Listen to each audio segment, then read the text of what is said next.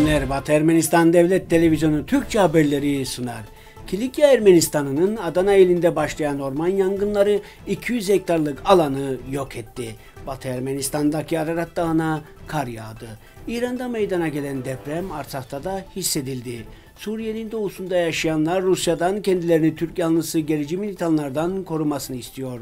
Kafkasya Doğu Koruma Fonu tarafından Hosrov ormanlarına yaklaşık 87 bin euro tahsis edildi. Kudüs'ten Tavuş'a Ermeni Kudüs'ü ile tanışma programı Fresko Festivali çerçevesinde gösterildi. Kilikya Ermenistan'ının Adana ilinin Kozan ilçesinde önceki gün çıkan ve hala devam eden orman yangınına müdahale ediliyor. Yangında şu ana kadar 200 hektardan fazla ormanlık alan yok olurken 6 köy ve 800 hane boşaltıldı. Yangının birden çok noktada çıkması nedeniyle sabotaj ihtimali üzerinde de duruluyor. Rüzgarın etkisiyle yayılan yangına 90'dan fazla ekibin müdahale ettiği belirtildi. İki yangın söndürme uçağı ve altı yangın söndürme helikopteri havadan müdahale ediyor. Bölgeye Adana İl Jandarma Komutanlığı'na bağlı özel tim ve komando birlikleri de sevk edildi. Sezonun ilk karı Batı Ermenistan'ın Ağrı ilindeki Ermeni platosunun en yüksek dağı olan Ararat Dağı'na düştü. Son zamanlarda şiddetli yağmurlar İncil'de de adı geçen dağın tepesine kar şeklinde yağdı. Dağın zirvesi tamamen beyaza büründü. Batı Ermenistan'ın bir başka ili Iğdır'ın Fotoğraf, Seyahat, Kültür ve Doğa Kulübü Başkanı Muhammed Akkuş, resmi Anadolu Ajansı muhabiriyle yaptığı görüşmede Ararat Dağı'ndaki karı kışa ilk adım işareti olarak görüyoruz. Bu gece kar yağdı ve bize kışın yaklaştığına dair ve hazırlanmamız için bir mesaj verdi dedi. İlk kar Ararat Dağı'nın tepesine yağar, kışın ilk müjdesi buradan gelir. Ermenistan Cumhuriyeti Acil Durumlar Bakanlığı Bölgesel Sismik Koruma Servisi'nin sismolojik ağı 25 Ağustos yerel saatle 22.25'te Greenwich saat ayarı ile 18.25'te İran'ın Parsabat şehrinin 27 kilometre güneyinde 12 kilometre derinlikte Richter ölçeğine göre 3.1 büyüklüğünde bir deprem kaydetti. Merkez üstünde depremin büyüklüğü 4 baldı. Deprem Artsakh Cumhuriyeti'nin başkenti Stepanakert'te iki büyüklüğünde hissedildi. Rusya'nın Suriye'deki savaşan tarafları uzlaştırma merkezi düzenli olarak Türkiye yanlısı gerici militanların eylemleri hakkında şikayetler alıyor. Gerici teröristler özellikle resmi Ankara'nın bir kepazelik örneği olan Barış Pınarı adlı askeri operasyonu yürüttüğü ülkenin kuzeydoğusunda etkinler. Türk yanlısı gerici güçlerin komutanlığı resmi Şam'ın ve Kürt güçlerinin kontrolünde bulunan bölgelerde elektrik ve su tedarikini düzenli olarak engelleyerek muhaliflerine kendi etkilerini hissettirmeye çalışıyor. Ayrıca Türkiye yanlısı gerici militanlar yerel halkı herhangi bir engel olmaksızın soyabilir.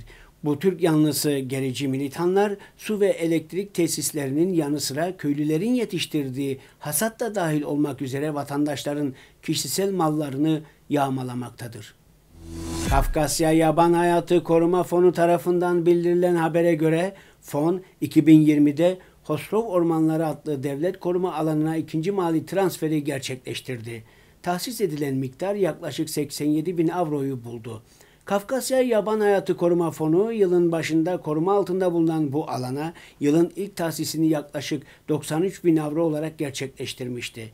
Kafkasya Yaban Hayatı Koruma Fonu verdiği bu destekle özel olarak korunan alanların yönetim verimliliğini artırmak için işletme maliyetlerinin masraflarını karşılamaya devam ediyor. Ermenistan Cumhuriyeti'nin Bert şehrinde 7. Fresko Uluslararası Çağdaş Sanat ve Ruhani Filmler Festivali Bert adlı dans topluluğunun açık hava konseriyle başladı ve ardından şair, gazeteci Anuş Nakkaşyan'ın Kudüs'ten Tavuş'a Ermeni Kudüs'ünü tanıyalım adlı programı sunuldu. Programı Anuş Nakkaşyan ile Revont Vartabet Hovannisyan hazırladı. Armen Press'in aktardığına göre Nakkaşyan konuşmasında bunun Kudüs'teki yaşam hakkında olduğunu anlattı ve programda Ermeni Gençlik Birliği'nin yaz okuluna da yer verdiklerini belirtti. Ancak yaz okulu sırasında tavuş olayları meydana geldi. 7. Fresko Uluslararası Çağdaş Sanat ve Ruhani Filmler Festivali 22 Ağustos 1 Eylül tarihleri arasında düzenleniyor. Festivalin Yerevan'daki programı 24 Ağustos'ta başlayacak ve Yerevan'ın kalbi Apovyan Caddesi'nde bulunan Kutsal Anna ve Kutsal Katolik kiliselerinin çevresinde 1 Eylül'e kadar devam edecek. Programda film gösterim tartışmaları, konser performansları ve çevrim içi toplantılar yer alacak.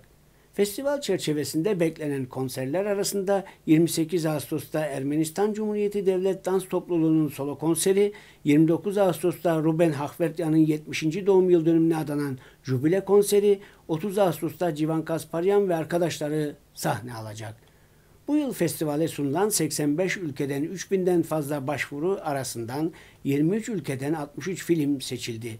Yarışma programında mesajları insanlık, vatanseverlik, sağlıklı yaşam tarzı ve diğer evrensel değerler içeren filmler yer alıyor. Bugün için bu kadarını öngördük. Şimdi size Singapur antik müziğinin Capella Martialis topluluğu tarafından icra edilen Makar Yekmalya'nın Surp Surp adlı eserini sunuyoruz.